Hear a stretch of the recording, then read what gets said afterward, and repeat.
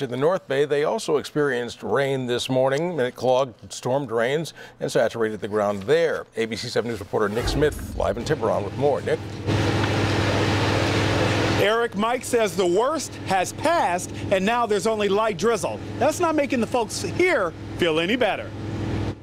It's scary. Every time it rains this much and it doesn't stop for a couple of days, you know, it gets scary. The rain is coming down, but to understand why some get nervous, just ask Mayra Canales. The water was up to my ankles. It was really bad. The watermark on her shop window three days later, a reminder of the damage floodwaters can leave behind. 19 inches here in the front area, and I had about 20 inches inside, 20, 22 inches inside my office. And she wasn't the only one to find herself wading through water. For some, the flooding was so bad it forced them to close their doors. Blinds and Designs has closed up shop and shifted their orders to their San Francisco office. And with only six days before Christmas, Santa won't be picking up any goodies for the boys and girls at this UPS store. Flood damage forced this owner to pack up, leaving only a sign behind.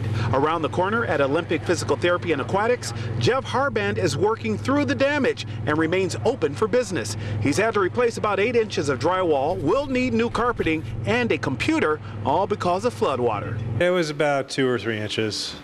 Yeah, and it was a it was a pain to clean it up. But now, as he and the others watch the rain coming down, they're prepared. Crews are using blowers to clear away anything that may clog a drain. Sandbags sit by every door, and this massive pump stands at the ready, prepared to be fired up if needed. Still, Mayra and her team aren't taking any chances. Every night after we close, sandbags. We never know what's going to happen overnight. So until that storm passes, expect to see more of these blocking doorways. In Tiburon, Nick Smith, ABC 7 News.